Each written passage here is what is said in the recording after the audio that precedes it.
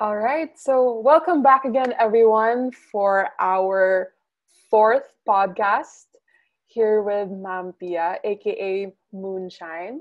So, um, this week we'll be exploring the topic of human development or how people uh, develop across the lifespan and the different biological, social, emotional, and um, other processes that taken that come into account when we develop across the lifespan. So uh, I guess we can start with asking the general question of um, why study human development and what can we learn from studying people at various stages across the lifespan?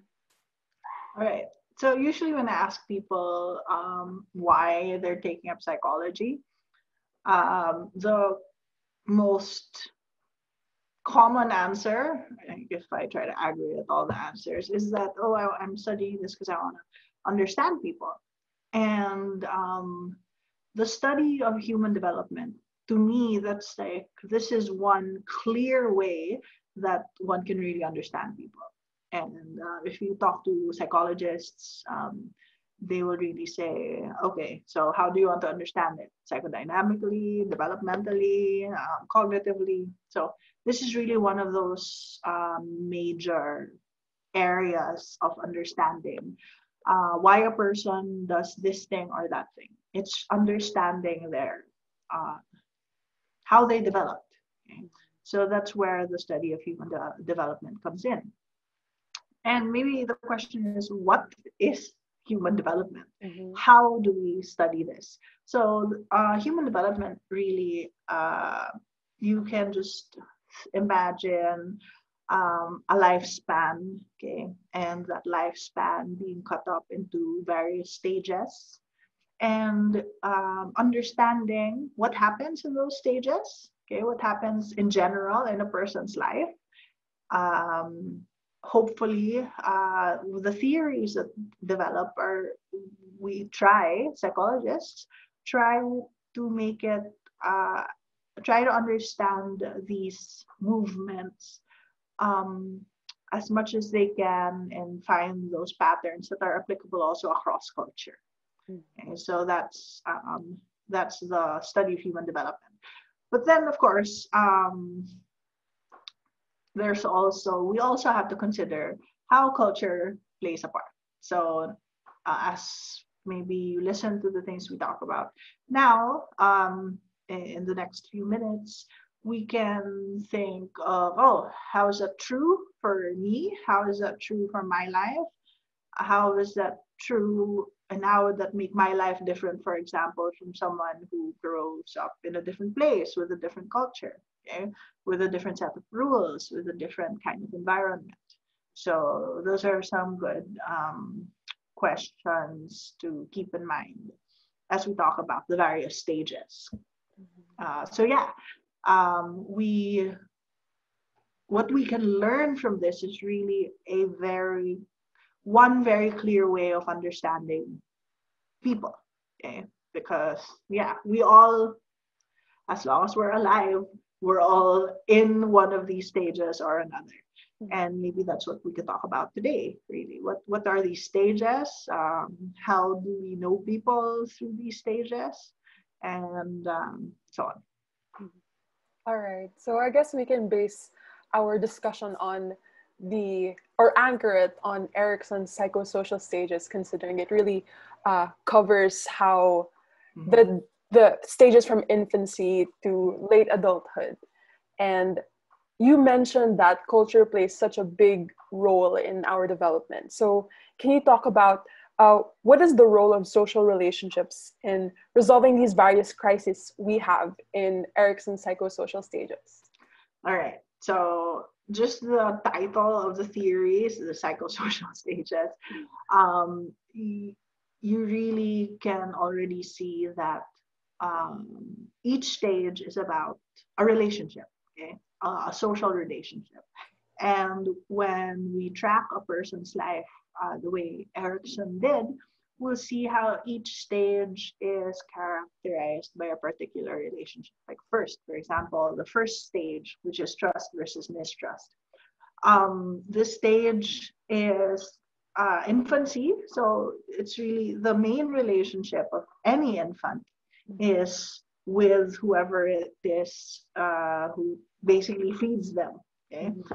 so it's child and primary caregiver. Mm-hmm. And the way Erikson framed uh, this um, stage is that there is a conflict. Okay, there's a crisis, and the crisis is between trust. Okay, versus mistrust. Mm-hmm. And the crisis of trust is really about okay, do I trust that my caregiver eh, will feed me?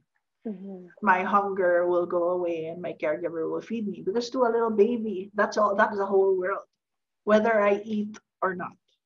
Mm-hmm. So that's the experience of trust is my caregiver will feed me and I will uh, this hunger will go away. This hunger will not kill me. Mm-hmm. Okay? Um, and then the experience of mistrust is I'm never gonna get food. Mm-hmm. Um, I I'm never going to feel full. I'm never gonna be satisfied. And of course, I mean, you understand that when I say things like this, I don't mean babies have this this concept of uh, I'm gonna die or I'm going to live. Just the whole experience of being physiologically hungry mm-hmm. is discomfort and discomfort is pain. That's why babies cry. But being physiologically full is comfort. And so, and that's all they know. That is their whole experience. They can't move, they can't really think the way we do. They get they're just receiving their sensorial information, um, which is quite developed na naman after a bit. Um, except for their motor functions. So their motor functions, they can't really control their bodies. That's why all their whole world is the person who carries them, the person who feeds them. That's it. So that's the relationship that we look at and that forms a person's behavior um, when they're that young. Mm-hmm. So that is the crisis of trust versus mistrust. Mm-hmm. So how does that form uh, a person, like a person's personality or a person's behavior? Well, um, a baby will always have an experience of hunger, right? Because babies can't talk. Mm-hmm. How will they say, "Ah, I am going to get hungry in five minutes. Please mm-hmm. feed me now." Mm-hmm. Okay, no, they will feel hunger and then cry. Right? Mm-hmm. So they will always have that experience of mistrust right? But then if they are, if their needs are met by their primary caregiver, uh, then they will also always have an experience of trust. So it is normal to have both sides of what we call the crisis. Um, um, Erikson actually calls each side um, um a dystonic side, meaning it's uh, uncomfortable, you don't like it.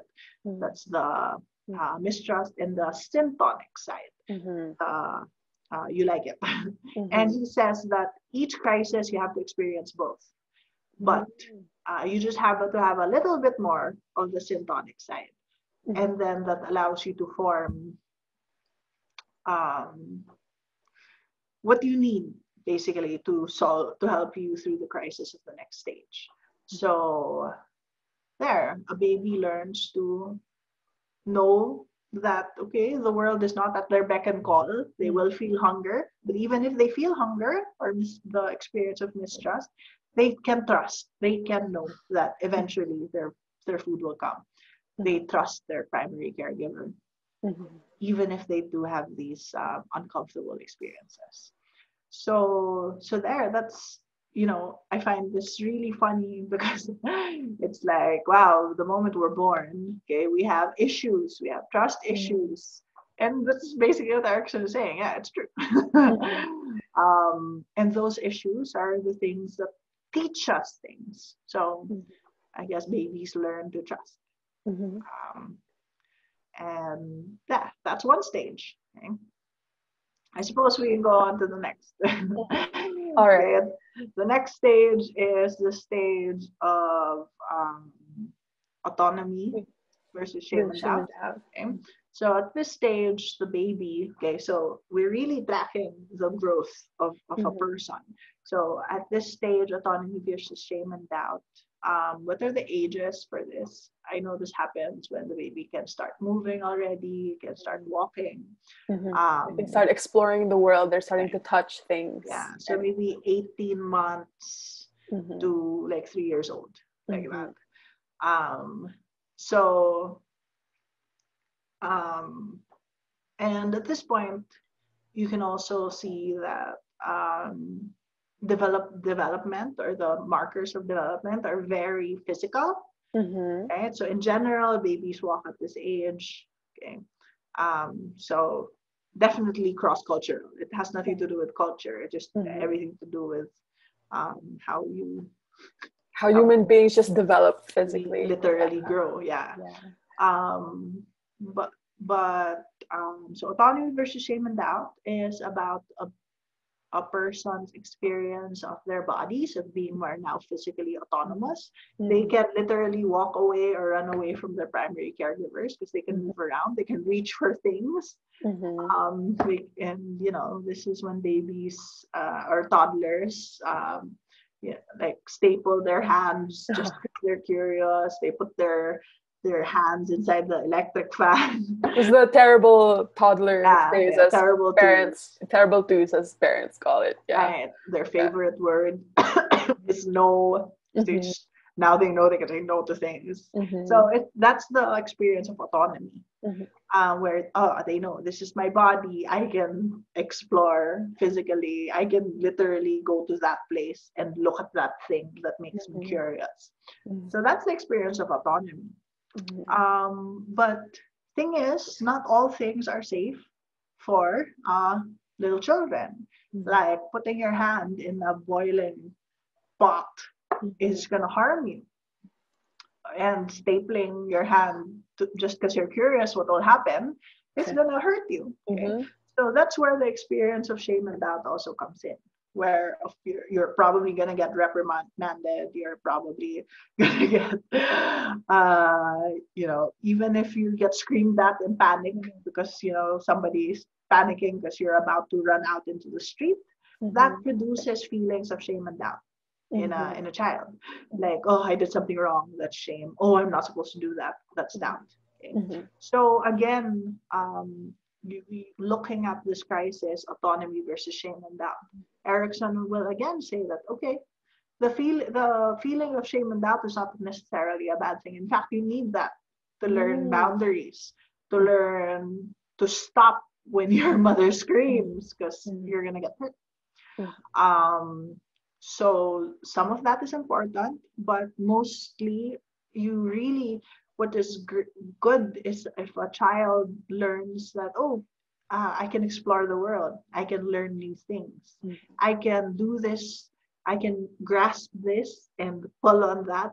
And um, that's when the child this person begins to become curious to learn new things. Because those are um, really important for a person's development Mm-hmm. I guess here is also where culture really um, plays a part. You know, some cultures or some families allow their children to run around and you know mm-hmm. like roll on the floors and climb trees even when they're very young and some some parents don't do that mm-hmm. and what these differences with upbringing with parenting styles will create is the differences that maybe now we, we can kind of see later on. Some children are more independent or unruly because their parents didn't give them a lot of shame and doubt. It gave them a lot of autonomy, but then maybe these are the children who also, uh, I don't know, maybe the bruised, you know, like mm-hmm. scratched um, children, but they're very independent. Okay? Mm-hmm and then some children, they, they will not even try. Okay. They will not explore. They will mm-hmm. not uh, do this. So um, I don't know. Maybe that's also not so great. Okay. Mm-hmm. Um, because too much shame and doubt uh, can cause, can literally train a child to be anxious. Mm-hmm. Uh, what what like for example helicopter parenting is very high control parenting. I don't know if you're mm-hmm. familiar with that term. You Can you explain what helicopter parenting is and how it affects the how the child behaves? Yeah, helicopter parenting is very is basically very highly controlled parenting. Mm-hmm. Um, the child's actions are very controlled, like um, it's usually towards perfectionism and uh, mm-hmm. high high performance. Okay. Mm-hmm. So yeah, two pa lang tinuturuan na mag-math. Ganyan. Um, but it's at the, at the time when really a sense of autonomy over their bodies is very important. Mm-hmm. Um, but if they're not allowed to do that, to explore that way, uh, then they have less of this experience of autonomy and more of the experience of shame, shame and doubt.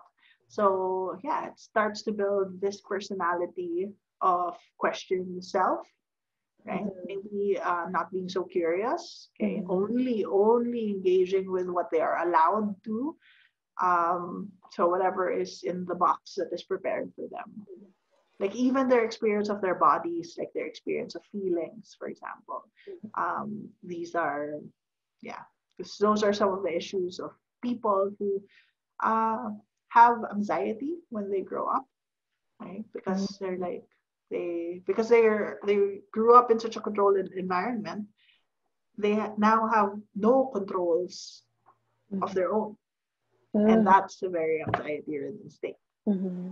and they become um, very controlling is it like a way to exert control over their own situations it could be mm-hmm. so um, this is also like later on we'll talk about it in the first mm-hmm. uh, module this is also the part that corresponds to um, Freud's um, anal stage, mm. where it's really about control. Um, so some people develop um, because they are so controlled, they learn to be so controlling. Mm-hmm. Some people, because they are so controlled, the moment the controls are gone, they're like, ah, mm-hmm. because they didn't get to experience that. Mm-hmm. So, so here, even just one stage like just the second stage after infancy, you really get to see the different variations that could happen because of the differences in the cultures where we grow up. Okay, the differences in our our relationships. Did we get more autonomy? Did we get more shame and doubt? Mm. Um, and that's something that affects us um, as we uh, grow up. Okay. Mm-hmm. All right. So, would you say there's an ideal or so parenting style that kind of um, balances the need for autonomy and still the a, a way to um, rein back the children in as a kind of uh, this these are things that you are allowed to do and that won't hurt you. So there there has it's up to the parents to strike a balance of both. Yeah, mm-hmm. yeah, yeah. That's really where parenting styles come, comes in, where you, there is uh, allowing for autonomy. Okay, so encouraging curiosity, ex- encouraging the wanting to explore, encouraging um, movement, even, but also setting boundaries. Like one of my favorite, um, um, and it's actually quite a popular uh, sentiment now, is that you allow the children really to exercise their no, mm-hmm. their no power um, but but properly. Okay, so if there's gonna say no, you don't. You're just not rude. so you're teaching them a norm. Okay. Uh, which is politeness, but you're also teaching them to have autonomy and power over their own bodies. So, mm-hmm. um, yeah, so I, I see this a lot on social media, you know, don't, you know, allow your children choice when it comes to um, even just kissing their relatives mm-hmm. or being hugged or being touched.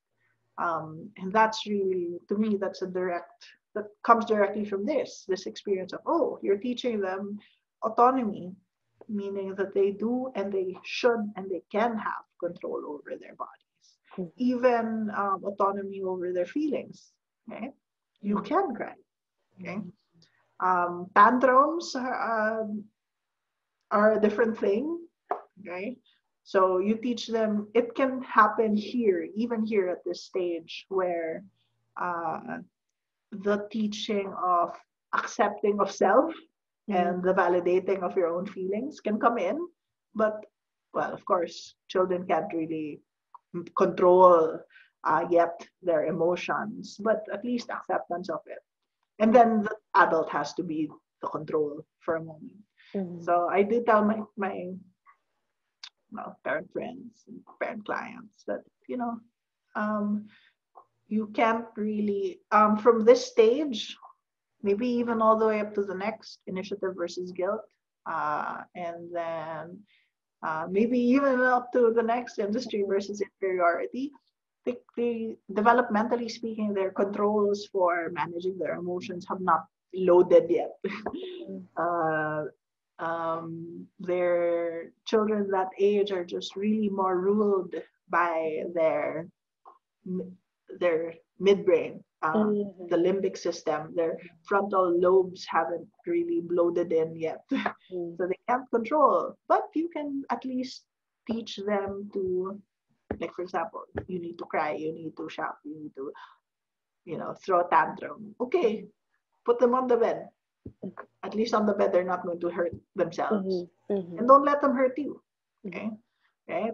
You can, if they're gonna punch you, don't let them punch you you mm. you hold up a pillow and you teach them to punch the pillow like like that because so it's not just you're teaching them control just in a, an age appropriate way mm. a, a, a, developmentally appropriate way because if you shout at them and tell them to stop well the mechanisms for stopping just aren't there yet so it's useless mm-hmm. and all it does is increases your control rather than their control mm-hmm. so um, yeah there so that kind of relates also to last module's um, discussion on punishment mm-hmm. okay? so that's all you can kind of like put that all together here um, um, as you try to understand those stages. But those the the two stages um, autonomy versus shame and doubt and then the one after that initiative versus guilt they're quite related. Mm-hmm. autonomy is uh, about the body, so they have more control over their body, and then initiative is um, their mind. Okay? Mm-hmm. Initiative is more the curiosity. They start asking questions. Mm-hmm. This is also the age where they become more verbal. So mm-hmm. children start to ask questions, and you know, since they really don't have a lot of uh, information that's already there, sometimes the questions can come out quite rude or or really like you know there's no political correctness with children they're just gonna ask hmm. As they see there's no filter they just yeah there's no why filter. is this a certain way and they right. Mm-hmm. right so um and they're just curious so that's the initiative part right? Mm-hmm. uh and then is the it other side of it uh, is guilt Okay. Yeah, yeah. This is also the time when no, inferior industry versus inferiority is that's what's called the school age. Mm-hmm. So so yeah, so those three autonomy, initiative, industry, these are all the different um, steps that really mean exploration, uh, knowing what you want, knowing what you want to commit to and finish. Uh, industry is about accomplishing tasks. Mm-hmm. Initiative is about being curious and wanting to ask things. Mm-hmm. Autonomy is physically, I can do this. Um, so it's all about that exploration of the world, okay, in mm-hmm. different levels. Uh, and then the other side of that is um, shame and doubt, guilt, and inferiority, right? Mm-hmm. So, so yeah, if there's too much of that, on the other side, these are the things that really develop into um, anxiety. Mm-hmm. Um, because yeah, too much inferiority, you feel like you can't accomplish things, you're a failure, mm-hmm. you don't know how to bounce back. So you start, you know, it becomes mm-hmm. this kind of um, thought process, too much guilt, you feel like you don't do anything right, you can't ask questions, you can't mm-hmm. explore mm-hmm. too much shame and doubt is yeah so you kind of see the progression there um, and i guess that's what happens when a crisis isn't resolved properly mm-hmm. um, it will carry over to the next stage. Okay? And that's quality of the stages of development according to um, uh, Erikson. Okay? Mm-hmm. Um, I think he calls it the epigenetic principle. Mm-hmm. This stage is built on the next stage is built on the stage before it. Mm-hmm. Um, so it's a process of resolving the crises at a series of stages in order for the next crisis crises to be healthfully yeah. uh, resolved. Mm-hmm. Yeah, dealt with. Mm-hmm. Um, and so yeah, like even just this, you can kind of think of yourself, right? How are you at that age? You think of yourself now, like you know, how what are my thought processes? How do I do I suffer from a lot of self doubt? Where did I learn that? That's something I actually um, ask my clients to do um, mm-hmm. whenever they have these patterns of thinking. For example, the doubting pattern of thinking, oh, I'm a failure, I'm a failure, I'm a failure pattern of thinking.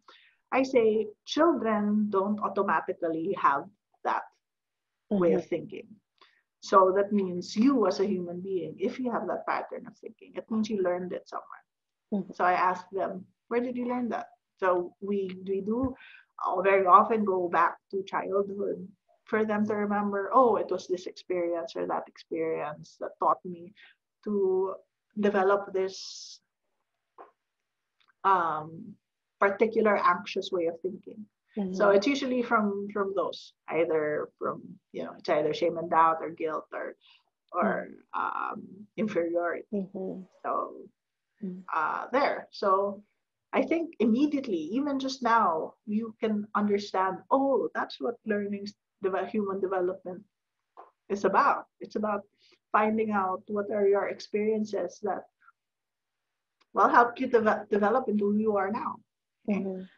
And the good thing about it uh, that I find, mm-hmm. okay, is because is that these things, like okay, if you learn the stages, that's not the end all and be all of it. Mm-hmm. Um, and that's also something that's true for the psychosocial stages. Just because you didn't resolve it doesn't mean you never will. Mm-hmm. It does carry over to the next, but you can still resolve it later on. And once you resolve it, it kind of also follows. All right, you resolve your doubts, you resolve, and that will help you resolve your guilt, and that will help you resolve your sense of inferiority. So I guess that's what therapy is for. Mm-hmm. That's also why they say uh, therapy, well, they say, I don't know who they are, mm-hmm. but um, there's a term that calls therapy. Um, therapy is reparenting. Mm-hmm. It's literally a way for you to go back. Go to back those, to the child we were who had those experiences. Yeah, and help you resolve those crises so that it doesn't bother you at this stage in your life. Because okay? mm-hmm. you will always have that crisis. Uh, there's no stage in life that has no crisis uh, to be dealt with. But if you deal with those things from your past, it'll help you deal with whatever it is you need to deal with also at present. That's that's that way of understanding is uh, developmental understanding of the self mm-hmm. and the problem. All right. So from being or learning that it's okay to be curious about the world and um, not feeling guilt or not putting too much, uh, not to dampen children's curiosity, which is the guilt side. Uh, how does one become industrious, reaching the next stage? So, from um, having the initiative to ask questions, how does a child develop um, industry and then con- uh, contrastingly inferiority? All right. Well, um, at that stage, what happens is the child usually and I guess this is where culture plays a part also. Um, the child usually uh, is now exposed to a greater uh, group. Okay, it's not just the the family, so it's not just uh, the child and their pa- the parents. The parent. Okay, the focus moving outwards. Yeah. Mm-hmm. Now it's this is usually when the child goes to school, mm-hmm. or um, the child's world just expands. So they meet more people. Now they have peers. Okay? Uh, and so um, I like to think about this age as when a person learns to commit to projects, commit to tasks. And you know how children, like younger children, they can be best friends with someone for two hours and then mm. forget about them. Yeah. Um, but at this point, I guess because of the way the brain also develops and the way memories are now more um, uh, are formed more, okay, mm. as the child grows up, then the child can now uh, commit to tasks. Okay? Mm. So now they can commit to subjects that are more long term. They can study chapters one to five and then have a test after the fifth because they can remember mm. uh, those kinds of things now. Um, they can see their friends over, uh, you know, a few weeks and stay friends with those people. Okay, that's also kind of like a task. That's also a project. Okay? They can now miss their friends over the break. that kind of thing. They will want to uh, see these people again. They can actually say, I like this person and not that one. Mm. Um, so bonds form, friendships form, um, their, their preferences come out. Okay. Mm. Um, and that's really what the, the crisis is about. Industry is about being able to say, ah, I like to do this. This is what I mm. like. This is what I want to finish. This is who I want to commit to. Okay and there are successes in those tasks i did finish it i did pass this i did get that grade i am friends with this person but there are also failures right? i didn't i didn't get the star that i wanted that that boy fought me and now i'm not his best friend anymore mm-hmm. okay so these are the many experiences of inferiority that we might have through the school age. But again, okay, much like the past stages, you do need an experience of inferiority um, because that just hap- that's just one of those things that happens to us. Sometimes we don't succeed, mm-hmm. right? Sometimes we fail. Um, and it's so important to know the experience of failure. Why? I'm gonna throw that question back. Why is it important to know the experience of failure? Because I think it's because uh, life is rife with unexpected um, occurrences and things are just always not going to go our way. So I think it's very essential to develop resilience because when things inevitably inevitably don't go our way, we have to learn how to cope with that and rise above it. Okay. Okay. So this is about the age when that it would be good to learn that, right? So again, much like I said earlier, if there's too much of the other side, that's usually what develops into um, um, disorders. Okay, so I've been focusing on anxiety a lot, um, but it would actually be maybe the things that could cause anxiety or depression. These mm-hmm. experience too much inferiority would me would could come from uh, what is what is a trait the trait called perfectionism so if there is such a high pressure to perform mm-hmm. to to have good grades to be liked to be to be um, the good girl or the good boy mm-hmm. that could lead to um yeah too much perfectionism which mm-hmm. could lead to too many experiences of inferiority mm-hmm. too much experiences of inferiority. And that could manifest later on as anxiety mm-hmm. or as depression. Mm-hmm. So, um, so yeah, and um, I mean, since we're here, okay, um, much of these things, although there is a way now to detect, um, you know, childhood anxiety. Okay, mm-hmm. although um, experiences of anxiety and depression in children, uh, they exhibit very differently. But um, so that's a whole different mm-hmm. conversation. Mm-hmm. Uh, it's just what we now know as what is more familiar to us as anxiety or depression usually exhibits when we're um, when the person goes into the next stage. Mm-hmm. Which is starting which is, to go into adolescence and um, intimacy, exploring the uh, the depth of social relationships and navigating social relationships, different kinds of friendships, or even romantic relationships. Right. So yeah, the next two stages are when most uh, diagnoses are made. Actually, it's that adolescence to young adulthood. Mm-hmm. Okay, so the next stage, the stage of adolescence, Mhm. is what is the first crisis that um, Erikson labels as an identity crisis. Oh, This crisis is called identity versus role confusion. And yeah, so after um, the first two stages where it's really about, uh, oh, I I am open to the world or I am close to it. Okay? Mhm. Now it's like the question is, who am I? Mhm. Who, who, who am I and what is my role? Mm. Okay, in the world. Um, and I guess it's really just good to point out that, well, this stage is probably where most of the audience is right now. Mhm. Um, college students and college students. Yeah. So identity versus role confusion is, um, shall we say, I would say, remembering my own experience of it, it's not that pleasant. Mhm. Yeah, is um, developmentally speaking, I mean, physiologically speaking, also, the brain is um, in a particularly moody time of its life.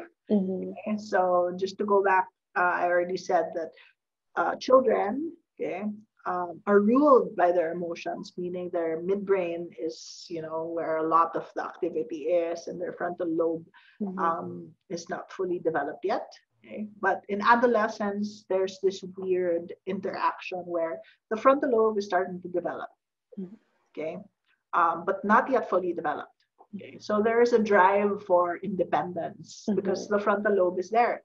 They're uh, they are starting to be more analytical, but not Mhm. quite fully.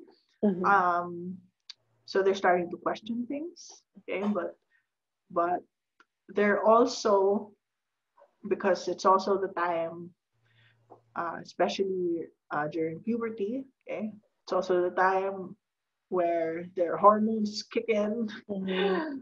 where um, so that's something that really causes swings, highs and lows of mood. Mhm.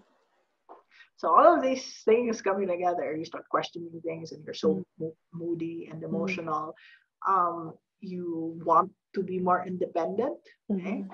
but your parents are still like, no, you're a child. Okay, this conflict creates this um, state that can be quite uncomfortable. Okay, um, and maybe that's also why a lot of the issues from the earlier stages may get released Mhm. at this stage in a person's life. Good news is, okay, that this is normal. Mhm. Okay, It's So, temporary. It's temporary. Yeah, it's really Mhm. part of a person's development. Okay, uh, and then just go to go back to Erikson. The two sides of the crisis is role conf- um, role confusion and um, Identity. identity. Mhm. Okay, so um, if in the stage earlier I asked why is it important for a person to experience inferiority, I want to ask that also now. Mm. Why is it the- important for all these issues, uh, conflicts with parents, Mm. all these issues, um, you know, like I don't know who I am, just, you know, um, I don't know what I want, uh, Mm. I don't know all these questioning of self that happens in adolescence. Why is that important? Because that's the quality, that's what role confusion is. I don't know who I am. I don't know what I want to do. Mhm. Yeah. Why is I- that important? I think it's important because people have to learn to develop their own sense of identity, or not even just identity, but their own sense of right and wrong, even. So, from just following rules or norms, it's a matter of thinking does this do these norms apply to me? Uh, and I think that's where also we become to start to be capable of abstract thinking Mhm. and how to uh, conceptualize things that we can't see despite having uh, despite having to um, know about love know about uh, why rules are the, the way they are so i think it's having that capacity to question it and decide for ourselves if the if these um, rules or ideas can Mhm. be adopted into our sense of self into our schema Yeah. into how we approach the world also Yeah. So what you're describing really is with like um that's you're right, that's role confusion. Okay. And you brought in another concept which is um the idea of formal operations. Okay. Mhm. So in the the stages of cognitive development, um, there are more, but this is the Mhm. last one, the Mhm. formal operation stage. That's when uh, a person is able to now understand abstract ideas and hypotheticals. Okay? So, um, and that's why uh, in adolescence also a person might start questioning because they can now think in hypotheticals. They can think beyond what is in front of them and what is concrete um, into the what ifs of life. And so um, that's also really important Mhm. that's a really important part of the recipe that a person needs to be able to know themselves. And so the questioning and the wanting to explore um, that leads to a, what might be a turbulent time of role confusion. But this is not a, a bad thing. I like to say that, you know, maybe you have phases in your life that you're not that make you cringe now, okay? When you Mhm. thought, oh, I am a, I don't know, what phases did you have? Oh, did you I think uh, I, I think I definitely thought I was gonna be a rock star at some point. Like Okay. started learning how to play the guitar and Taylor Okay. Swift was getting popular and I thought that I, I just really want to be a rock star and yeah. And other things like um I didn't want to identify as being emo mhm. or or there's certain kinds of this is who I am and I don't um I don't want to associate with these kinds of people so yeah would you say also there's a heightened kind of self-consciousness during this age we like mhm, Right.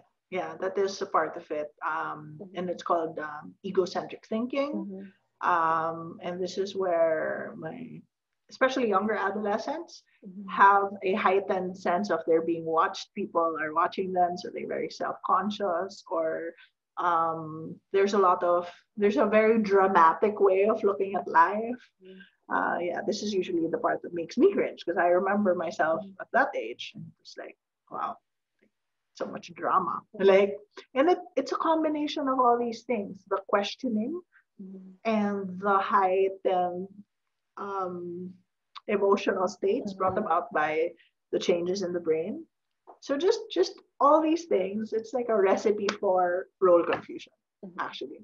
And what I wanted to say is role confusion is important because if you don't try those various things, um, like if you never thought you would be a rock star, is there a part of you now that wouldn't be you? yeah i think uh, i wouldn't have taken my studies so seriously and maybe i wouldn't have become so passionate about about psychology even though i love music it's just that i wouldn't i guess i wouldn't have been able to explore this part of myself if i fully identified with one Yeah. aspect only But is there a part of the, the you that wanted to be a rock star that is still there until now? hmm yeah and i still you think? appreciate that uh, so is it your appreciation for music? yeah my love for still singing and playing guitar and, right. and listening to music every night All right. So it wasn't a waste. It Mhm. was just an identity you you, you wore. And you're like, after a while, okay, no, this is not me. But you Mhm. didn't take it off all, all of it. Mhm. You kept a piece of it. And that's what role confusion is for. Because our identity is something we build or something we discover. And if we don't build it, if we don't go out and try on these different things to discover the little parts of it, then we would never be able to build it. You would never be able to put it together. Okay. If you just commit to one, the one you entered with uh, from the last stage, Mhm. then you'd probably be just the person, that child, or maybe, I don't know, the person your parents trained you to be, because that's what most of our life was before this, right?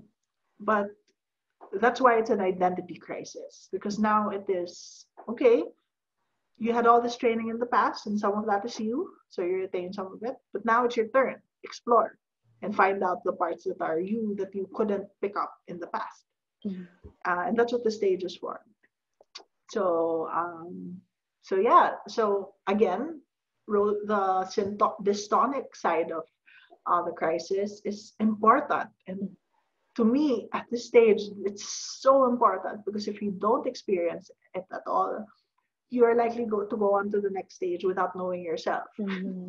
Mhm. And the next stage, if you go into the next stage without knowing yourself, oh, how complicated that could Mhm. get. Mhm. Okay, because the next stage is intimacy versus isolation, where um, again, uh, so in, industry versus inferiority and identity versus role confusion. Um, it's about the peer group, right? So it's about your relationships, uh, your your friendships. It's about the, the greater social um, group. But intimacy versus isolation is about your uh, significant relationships. Mhm. Okay. Mhm. So your significant others, romantic relationships, even significant commitments like your commitment to a career, okay? Com- commitment to something long term. If you go into that stage without having a explored Mhm. so that you could put together uh, an identity that is you, then oh, who are you finding a relationship for? Is it the you your parents trained you to be, or is it you?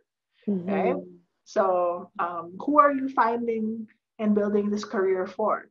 Is it the person your parents trained you to be? Which I'm not saying that's a bad thing, okay? That's a normal thing. Mm. But if you go on to the next stage, you're basically looking for a boyfriend or a girlfriend or a husband or a wife for the you that your parents trained you to be and not the you that you are Mhm. or you could be. And that might lead to some messy things. Okay, what what are the what what does what do these two sides of the Mhm. crisis mean? Mhm. Okay.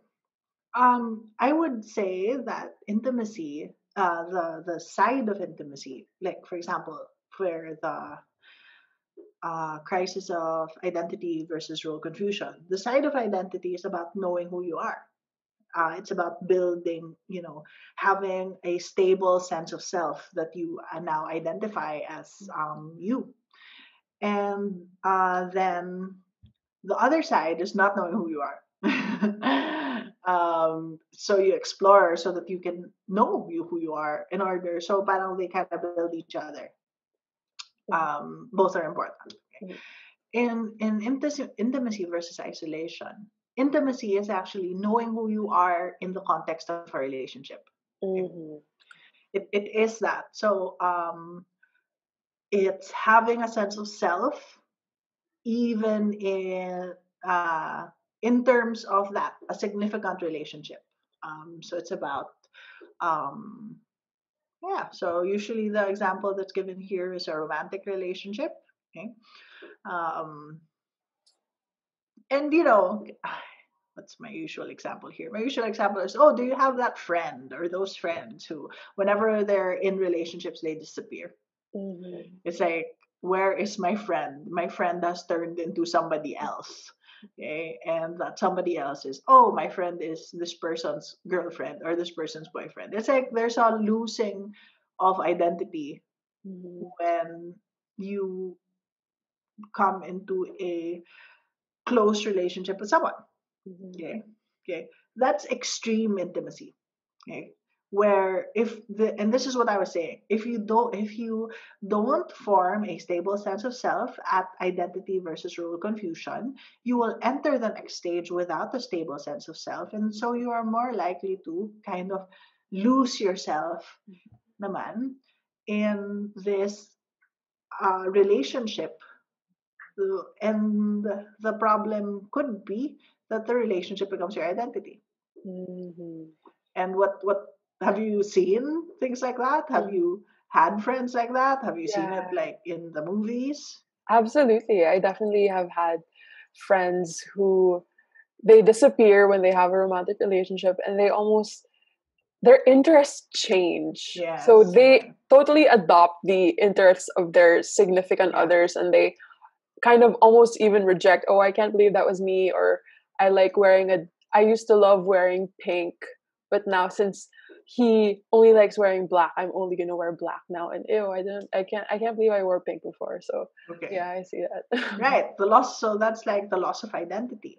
So now you can see another kind of interaction. If there's mo- too much, okay, I, I think it's just very, it's the clearest in this stage. If there's too much of one side, whether it's the syntonic or the uh, the dystonic or the syntonic, even too much of the syntonic is bad. It, it's it's not actually good for us. It really has to be this kind of balance where we just have a little bit more of the syntonic, um, and that's that's what I think that is what Erikson is trying to describe. So, uh, too much intimacy is actually loss of identity, loss of a sense of self, and that's where you need a little bit of isolation because you need that sense of this is who I am, and these are my boundaries. Okay um, that's what the experience of isolation is. So that's what that is what that conflict um, entails. Okay, that's why intimacy versus isolation um, is also a crisis of identity.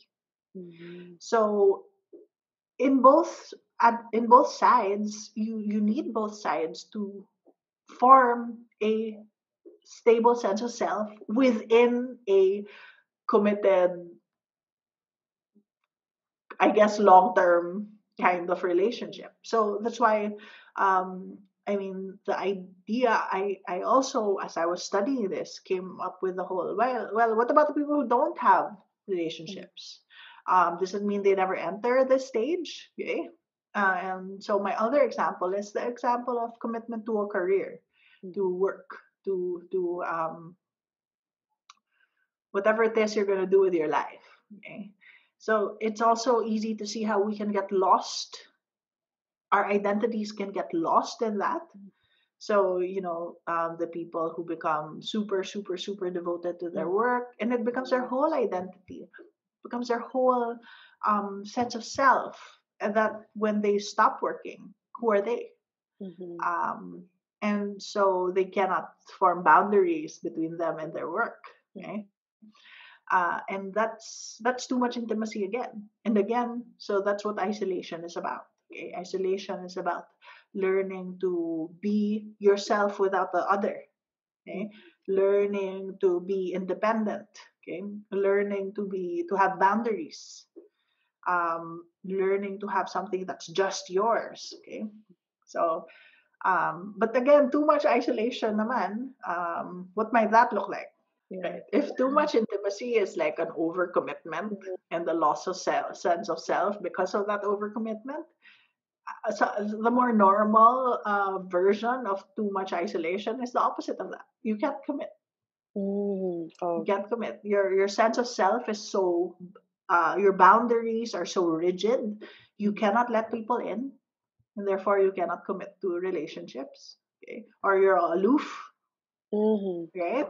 Um, and in the same way, this is maybe um, a carryover of too much isolation is you cannot commit to a organization Mm. or uh, a movement because no, it me me me me me me me, and these are my boundaries, and I will not let my boundaries be moved in any way, and that that creates for that.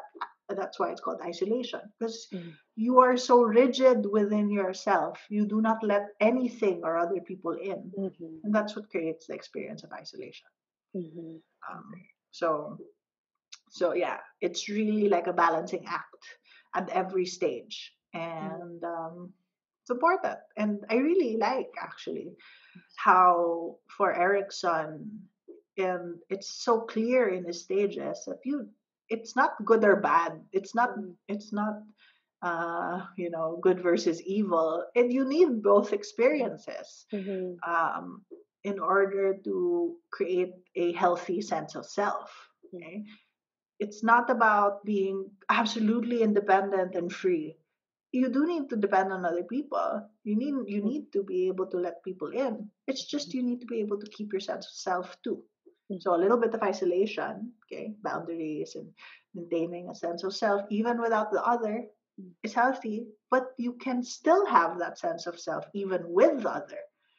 And that's uh, um, at each stage actually we just didn't discuss it and we probably won't even discuss it in the personality module because this will be discussed in more detail uh, when we get to personality okay the subject personality psychology but at every stage a person can resolve the conflict and develop what is called um, basic strength Mm-hmm. oh gosh i don't remember the terms or what is called the core pathology Okay. okay okay. So basic So- strength or core pathology. Right. So of the the basic strength that is developed, um, I guess we will just correct this later with the proper terms if that's not actually it. But what is developed uh, upon resolving the crisis of intimacy versus isolation is love, Mhm. right? Okay. And for so for Erikson, and I think this is one of my favorite um, uh, explanations of what love is. Love means you're able to have a sense of self that doesn't dissolve even in the presence of the other, even in the pres- of, presence of an identity with another. So you have an you're an individual, but you're also uh, uh, you are you can also share. Mhm. You can also be with another individual. You can actually form a unit that can be uh, together. But you do not dissolve into each other and just become this un uh you know undifferentiated unit Mhm. right that's a problem um um that's not love okay, according to erikson's um definition Mhm. so there so uh, it's a balance of uh, independence and interdependence, mhm. and and still knowing how to integrate ourselves with our important social relationships. Yeah. So after um, developing a sense of intimacy and knowing how to be intimate with other people in healthy ways with boundaries, what is the next step after that? All right. So um, I guess now it's like um, the area of identity versus our role confusion and um, intimacy versus isolation. Maybe um, again, okay, just to bring in the idea of how these steps are universal, but how they might show and when they might show is something that's not rigid. So that Mhm. depends on the culture where you're from, uh, etc. Um, so maybe the students uh, watching this, ha- maybe they already explore um, some even overlap already to the intimacy Mhm. versus isolation, Mhm. right?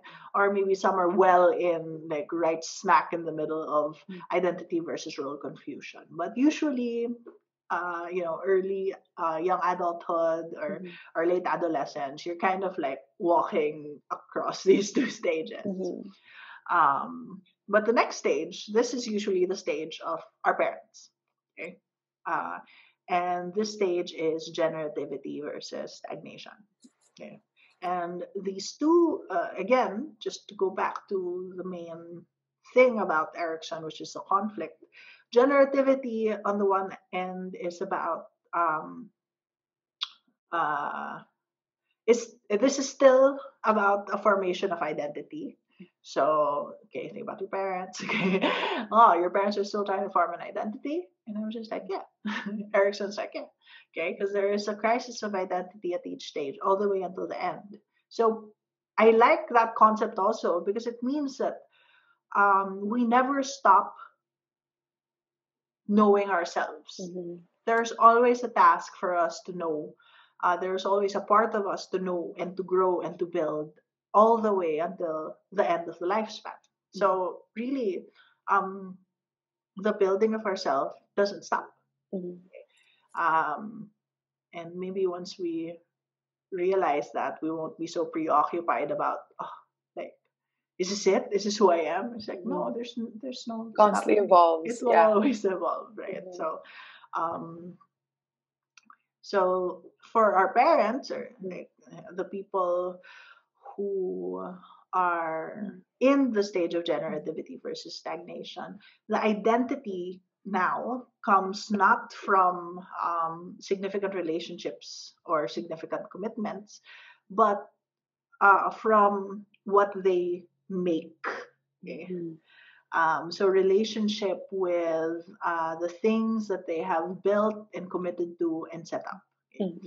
So tr- in the traditional sense, okay, um, love, uh, intimacy versus isolation can create a commitment, which at the next stage will be generative. Okay. Mm-hmm.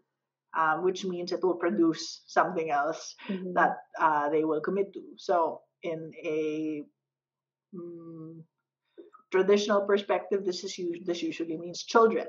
Mm-hmm. Okay, so at the stage of generativity versus stagnation, generativity is the wanting to take care of, the wanting to teach, the wanting to um, pass on knowledge. Okay? Um, so parents, so usually for this, we look at the relationship of parents to children. Okay, so parents will want to bring up their children, mm-hmm. will want their children to grow, will want to teach their children. But again, the question is so does this mean people who aren't parents don't ever reach this? Well, children, literal ch- children, aren't the only babies that are born into the world. Okay? Some people's babies are not children, they are what? They are careers. Right. right. Their mm-hmm. careers, their um, uh, whatever endeavor it was that they pursued. Maybe it's a business they grew maybe it's a movement they started okay uh, maybe it's an organization okay so these are the things that we create and generativity on the one hand is is that is the nurturing is the wanting to nurture something the wanting to to grow it mm-hmm. okay the other side though stagnation what is that um and the my favorite way of trying to explain it is stagnation is the uh, feeling of not wanting things to change. Mm-hmm. So there's like a rigidity or not wanting to evolve or stay right. stuck. In right. Mm-hmm. So it is quite rather similar to isolation. Okay. Mm-hmm. Where isolation is, I don't want to change my boundaries, so I, I won't let anybody in or anything in if my sense of self is so strong okay stagnation is i will not change anything because this thing i have committed to for years i will not allow it to change mm-hmm. Right so you can imagine parents not allowing their children to grow up mm-hmm. right not you know being controlling and not allowing their children independence mm-hmm. Okay. So that's that's stagnation. Like, oh, I I bore you and brought you up into this world, and now you want to do other things that I don't want you to do. Okay. Um, and or you want to be independent from me? How dare you? Okay. Mm-hmm. that's stagnation. Mm-hmm. Right. That is not wanting to um, progress. Okay. Mm-hmm. Um, so how might we look at that also? Like, what's the different um, in terms of like a career or in yeah, terms of nurturing a project or an organization that right. mm-hmm. okay so maybe not being able to let it go mm-hmm. okay or for example a common uh, example is um, bosses who don't train mm. who, who mm. have to do everything they micromanage because they don't train other people to do any of the tasks that they do and that stagnation because it's it's not allowing their their the the organization or business to evolve it's not mm-hmm. allowing anybody to grow so that's kind of the quality of stagnation mm-hmm. um, or the most um, the most maybe popular example is you see people go through a midlife crisis. Yes, yes. Right? Where they're like, oh man, um, I don't want to grow old, therefore mm-hmm. I will act as young mm-hmm. as I can. Okay? Mm-hmm. Yeah. do the things. I was uh, going back to the bachelor life or yeah. uh, trying to get back the style that they once had. Right. uh, cool again. yeah. They get piercings, they get tattoos. Mm-hmm. Uh, they start to be hip, they want to try being hip again. Mm-hmm. All right, that's stagnation. It's mm-hmm. um, it's that. It's a refusal to progress. So generativity is this wanting to nurture the next generation. Stagnation is just the refusal to let anything happen. Mm-hmm. um, I guess by example of like the parents not wanting to let their children be independent. That's also a little that sounds a little bit like too much generativity. Mm-hmm. Like um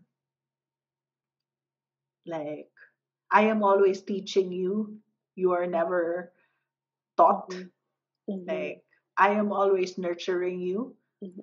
You you I I cannot let you mm-hmm. uh, be nurtured by other people. I mm-hmm. cannot let you be no longer my my child. Mm-hmm. Okay. Um, so yeah, so the two sides to me actually sound quite look quite the extremes mm-hmm. look quite similar. Mm-hmm. So now my question is, what's the balance? Right? Why do we need stagnation? What is the experience of stagnation supposed to teach us?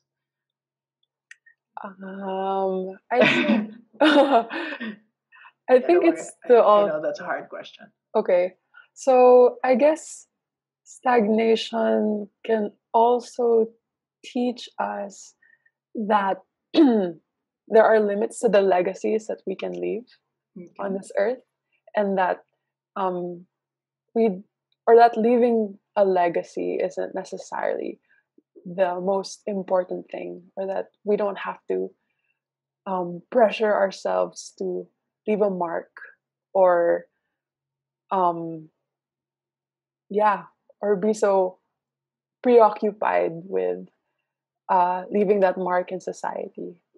Would you say that that's awesome? I think i think that's already what happens when there's a balance. But what is mm. the feeling. Like for example what is inferiority for? Why do we need to feel inferior? Why do we need to feel stagnant? Mm-hmm. right?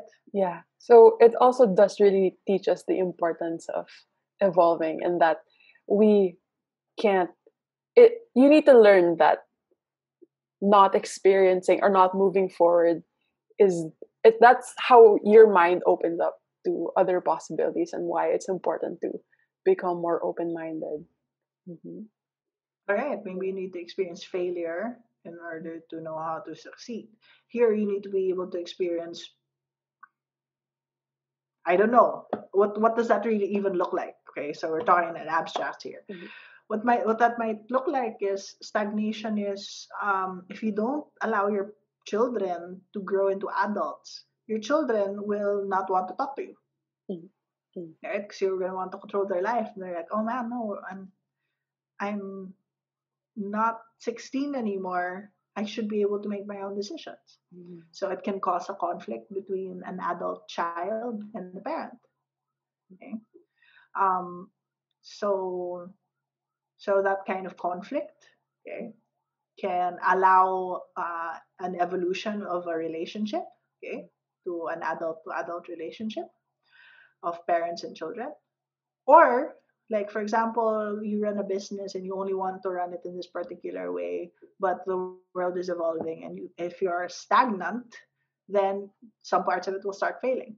And then you will learn that you need to adapt. Mm-hmm. okay.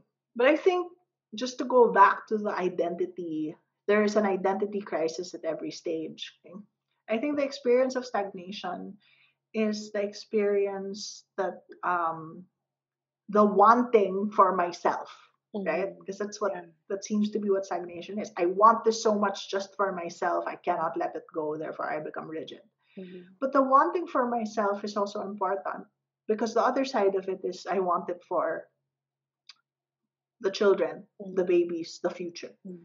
So you could also get lost in that. Mhm. Lose a sense of self. Just work, work, work, work, work for others, but not for yourself. So that's the balance. Mm. Um, the balance is to be able to um, give, but also keep. Mhm. Right? So this is where I think um, having uh, a midlife crisis isn't so bad. It's Mhm. not necessarily a negative thing. It's just sometimes people get to that age and it's like, wow, I now have the time and freedom and money to do the things I never did before. Why not? Right? That's a little bit of stagnation. They take for themselves now and don't don't just give everything to their cause or their children. And now they give to themselves. So Mhm. that kind of maintains balance of oh this is who I am I give it to myself and that gets balanced out by the generativity I take care of you I give to myself and that causes that creates a more balanced human being Mhm. okay otherwise they'll retire at age something and they they never have had a life for themselves Mhm. so Yeah. so there that's how I like to think about that stage So, how about what is the crisis faced by people who are at the age of retiring or, or grandparents' age? Okay, so the next stage is um, the conflict. Okay, is called um, integrity versus uh, despair. Mhm. All right, and now, okay, how is that up a crisis of identity too? Okay. Mhm. So the stage before it's about uh, giving, giving or, or keeping. Okay. Um, when you are able to both give and keep, okay, uh, you get to the next stage, and um, the conflict of integrity uh, versus despair is that you are able to look integrity okay is being able to look back at your life and say oh i had a great life. Thank you. And despair is being is looking back at your life and saying oh Regret. i regret or and and you you regret because you look forward and what is forward is the end of a life. Mhm. and so despair can kind of be the fear of that. The fear of losing? Yeah. Yeah. The fear of dying. The fear of dying. um and therefore the regret of not having time or energy or life to do anything about the mistakes of the past okay. so it sounds this one to me sounds like well what's wrong with all integrity Okay. why can't you just look past look at your life and just be happy with it Mhm. why do you need to despair why do you need the side of regret and fear and thinking about your death okay i know that's a Mm. hard question again Um, but what do you think I think it's because um, it also goes back to knowing, uh, giving back to society or giving back to previous generations. Because I think remembering only the positives negates the conflicts experienced in the previous stages and how all of those conflicts have contributed to the formation of ourselves. So I think experiencing despair or some kind of regret isn't is also a, a healthy way of um, critically evaluating our life choices and seeing how all of our failures have contributed to our sense of self and all of Mhm. our successes and Right. what we've brought to this world. right right because at this age so you said this is the age of our grandparents the telling of your story of your life story becomes kind of central to a person's life Mhm. right? So it is still about teaching, right? So a little bit like about the generative stage is is it's found here too, but there's a lot more. But it's kind of a little bigger. It's not about your business. It's not about um, you know, bringing, doing the right thing, of bringing a, a child up. This is about your life. Okay, this is about what did I do in my life. Okay, so you're you're right. I agree with that. That if you do not look at the mistakes in your life, then you wouldn't teach a very good lesson. Right? Um, it would just be well, it would be incomplete. Okay. Um, like for example, if people now are um, actually just remember even if we just take a look at the time, for example, during our grand, well, your grandparents and my grandparents are from different generations, right? But my grandparents, um, they were alive during World War II, okay? Um, and so if if, for example, a person alive during that time, and the world has changed so much, and there are many things that were acceptable back there then that are no longer that now we know are not exactly good things, mm-hmm. right? But they were just the way of life back there. Mm-hmm. So if you look at the way of how life used to be and and you're just like, no, this is it. Mm. This is all it was all good. It was perfect back then. Then it doesn't lead to much more progression. Mm-hmm. It true. doesn't teach a very good lesson. Mm-hmm. So I do think that's important what you just said. Mm-hmm. Okay. So that balance allows for um, a kind of generational learning okay, that can be passed on to whoever it is that they are around their their children their grandchildren okay. then another th- another reason why i think that despair it is important that a person in old age experiences despair or, or at least faces death okay? because you feel that regret when you face death when you face the fact that you are going to approach the end of your life. And um, I think that's extremely important because if you live in denial of death, then you're living in denial. Okay? That's a denial of something real and true. And what behaviors might that um, make? Okay. Um, you're gonna act like you're not gonna die. Mm-hmm. Reckless behavior right? Living life uh, fullest, kind of um, in a or or not living it to the fullest because you mm. will still act like you did oh, in yeah. an earlier stage, mm-hmm. right? Actually, knowing you're gonna die probably will make you live life to the fullest, mm-hmm. Mm-hmm. right? So, um, so I think the facing of your own mortality is something that actually helps you make better decisions for yourself.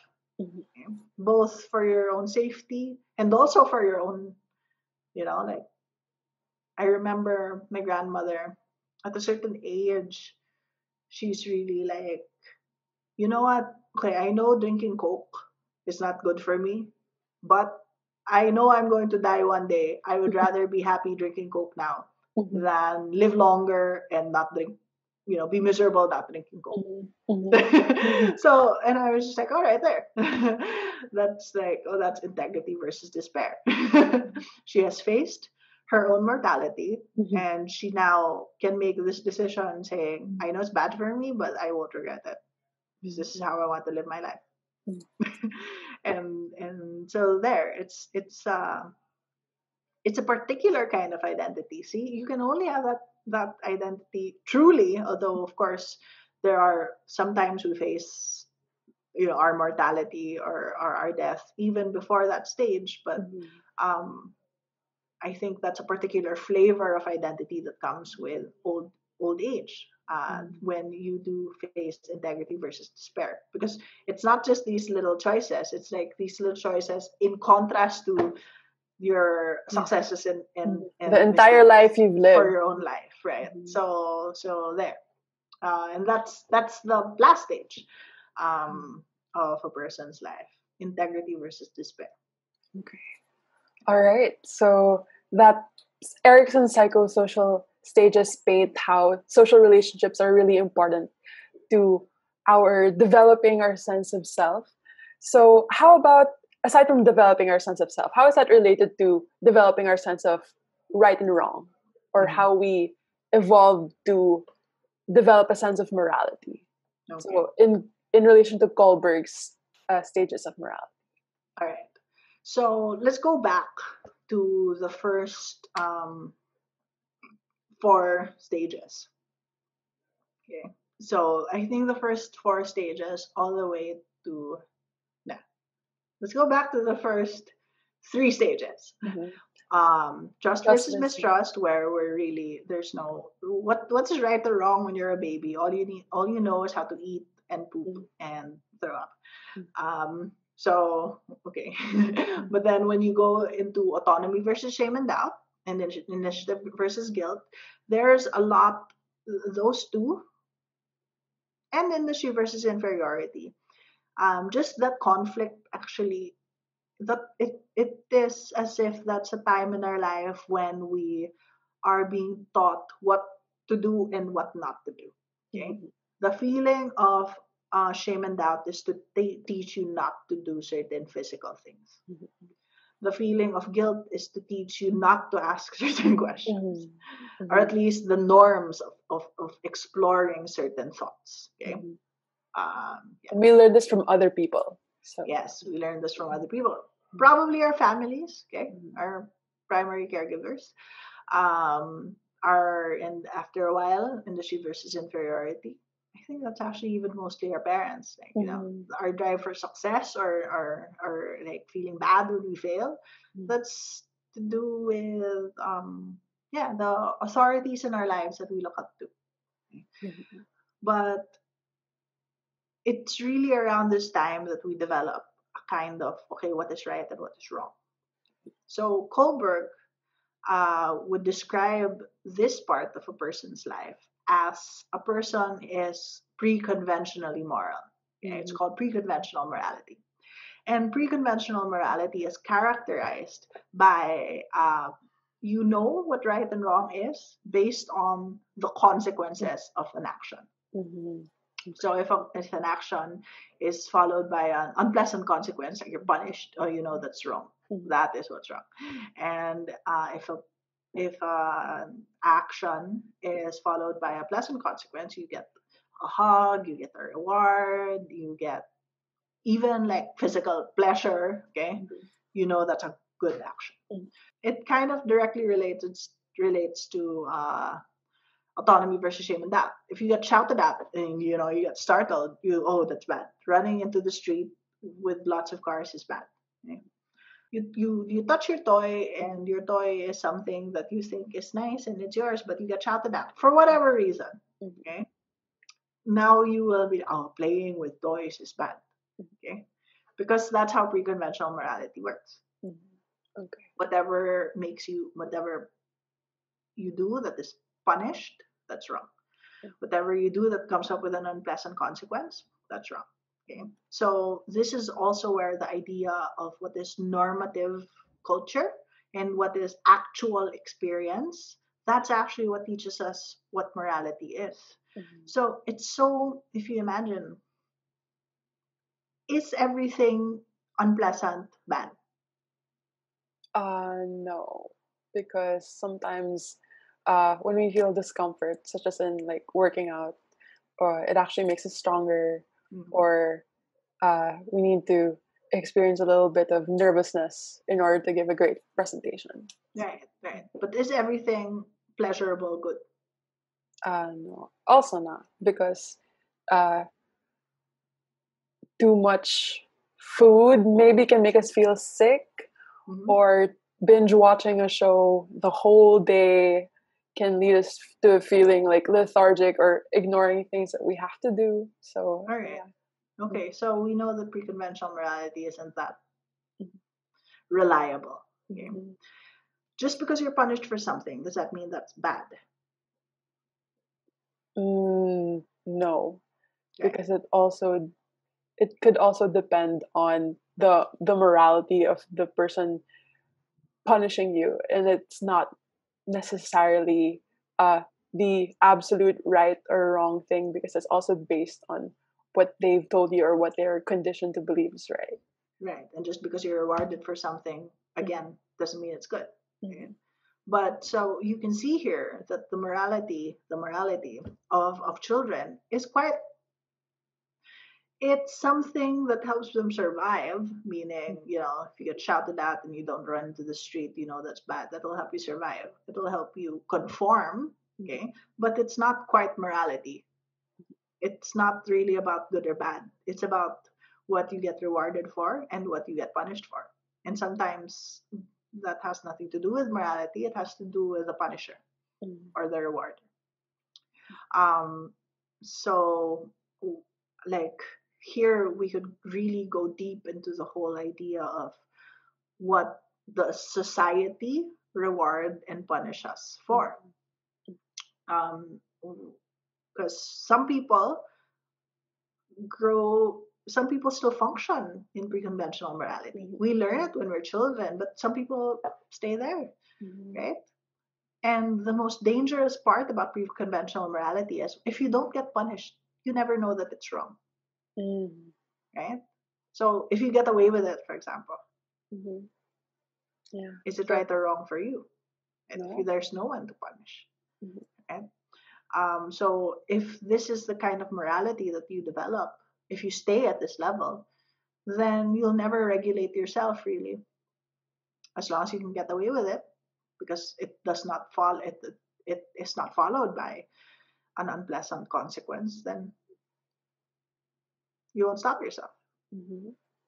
So so that um but thankfully free people go into the next stage. Okay and at the stage of industry versus inferiority and identity versus identity confusion where peer pressure the the movement of the group of the bigger society the greater relationship hmm. uh, with a greater group that's what starts to have an effect okay and so from just uh, pre-conventional morality which is like am i going to get punished or not am i going to get away with this or not um, am I going to get rewarded for this or not?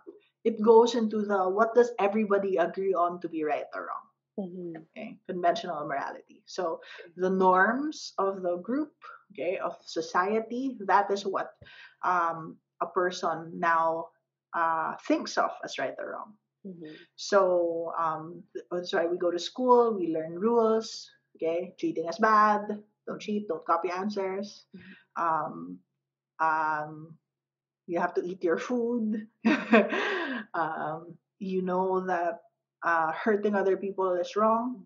Okay, although you kind of learned that even before in pre-conventional because you get punished if you punch someone. Mm-hmm. Um, but now you you actually start to learn rules. You actually start to know that what is the law, mm-hmm. and and that basically conventional morality is rules and norms and laws, mm-hmm. right? Uh, so so yeah, what are some conventional morals? Um, conventional morality actually also um, includes, um, like for example, subcultures. Okay, mm-hmm. There are some right things in some cultures, in some subcultures that are not right in others. That's true. Right? So mm-hmm. conventional morality for a person from your generation, for example, Mm-hmm. Um, it could be different from the conventional morality of someone somebody not from your generation, the generation of your grandparents. Mm-hmm. Right. So as for the generation of your grandparents, um, if I am in a room alone with a man, uh, that's a little bit uh, ano naman, so of sobrang uh, grabe naman yan. Hindi man Victorian age yung grandmother ko. Mm. yeah, you know, the things that older people would be scandalized mm-hmm. about and like younger mm-hmm. people are like, mm-hmm. there's nothing wrong with that. Okay. Yeah. That's still conventional morality. Mm-hmm. Okay. So, um, so yeah, at this age, we follow the rules. We learn the rules and we follow the rules. Mm-hmm. But my question is, are the rules always right at every situation, at every point in time? Uh, probably not also, which is why we need lawyers or a justice system or people who need to evaluate whether uh, this law upholds, which is an imperfect system, right? But we need these people to reflect on does this rule hold true in this situation, mm-hmm. and does it okay. does it protect the rights of this person? Does it? Mm-hmm. All right, because if you look at it, some laws before, like for example, there's a time when. Um, I guess okay. Sorry, my my example is slavery. Okay, mm-hmm. there's a time when mm-hmm. slavery was legal mm-hmm. and yeah. perfectly fine the way of life, but that was a law, so it was conventionally moral once upon a time to own slaves. Mm-hmm. If you go back to the Roman era, it was conventionally moral at the time mm-hmm. to. There's nothing conventionally wrong about mm. um, yeah, doing whatever you want to do with your slave because your slave mm-hmm. is your property. That was a conventionally moral thing. But because of time and because of, you know, what we learned and how we grew as a species, as a civilization, conventional morals changed. Right? Mm-hmm. That's um, yeah. our, uh, like for example, political correctness. Okay, mm-hmm. right?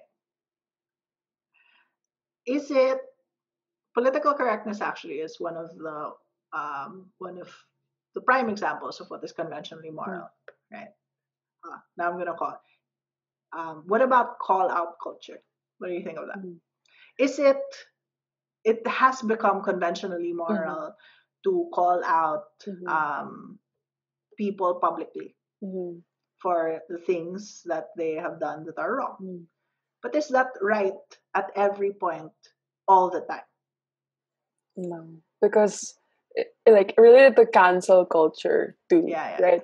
Um, if a person just makes a mistake or says something uh, that's taken in the wrong way in just mm-hmm. one in one isolated incident, it can affect how everyone views that entire person's career or that entire person's life or that entire person's identity. Mm-hmm. Right? But it could be that, or say that person really did something wrong. That person did something wrong and it's like, you know, needs to be changed. But the judgment that comes after, where at any point that that person does anything else, you're like, oh, no, no, no, no, no. Reject that person. Which has become quite conventionally accepted right? You know in in some cultures especially on the internet. Why might that not be actually good? It is accepted. Therefore generally how people act. Conventionally moral to reject um, wrongdoing. Mm-hmm. but why might that not be actually moral? Uh, why mm-hmm. we can question it right? Mm-hmm. Right. So if you question it, that's the realm of the next stage, mm-hmm. which is post conventional morality. Okay. And post conventional morality basically says, well, just because it's a rule, it's a law, or it's a norm, or accepted by a lot of people, doesn't mean it's right. Mm-hmm. What is right has to be determined moment to moment, uh, context specific, situation specific, mm-hmm. guided by moral principles, meaning what are generally thought of as right or wrong, but not rigidly bound to it. Mm-hmm. Um, so, do all people progress to this stage from conventional morality to post conventional? What do you think? no, because there are some people who are stuck in uh, like this group think, or for example, like why slavery lasted or endured for so long because people were stuck in that kind of conventional way of thinking and it took um, radical post-conventional thinkers to say that this is wrong and transform the policy right and then it became conventional mm-hmm. right mm-hmm.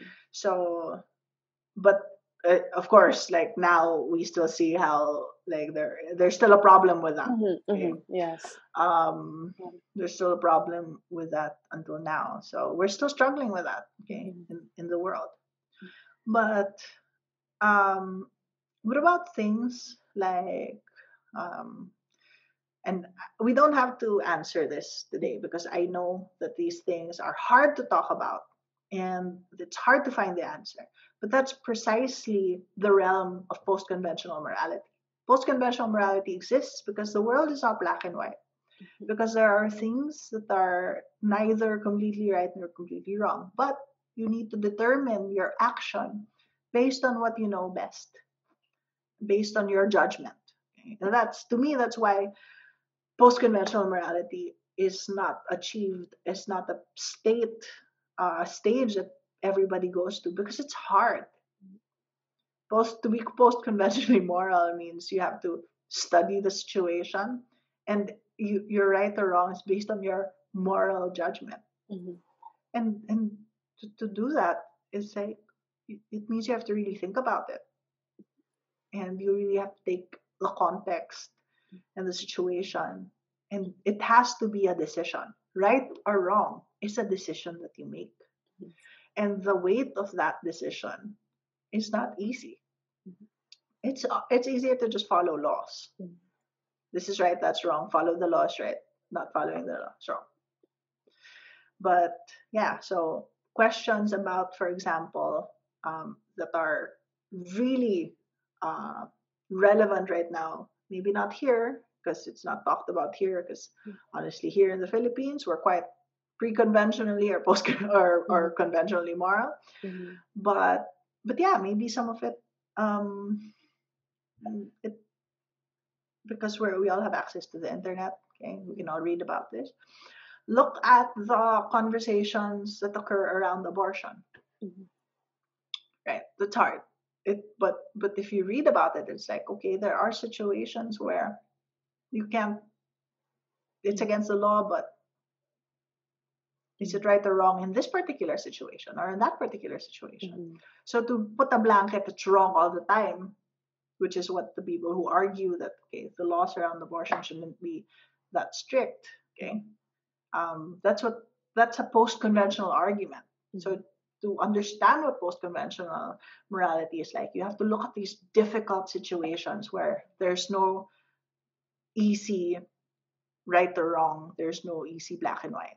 Mm-hmm. Um, and I know just me mentioning it might be controversial because it's like, oh, uh, what about um, uh, not quite controversial, but maybe controversial in terms of the Catholic Church? What about premarital sex?